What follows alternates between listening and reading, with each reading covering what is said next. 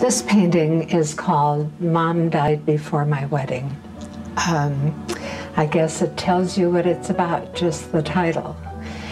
And it's probably the one event in my life that's, of all the sadnesses, that was really the saddest one for me. Um, I painted it to Dvorak's songs my mother taught me. Um, we were very connected. She was a great mom.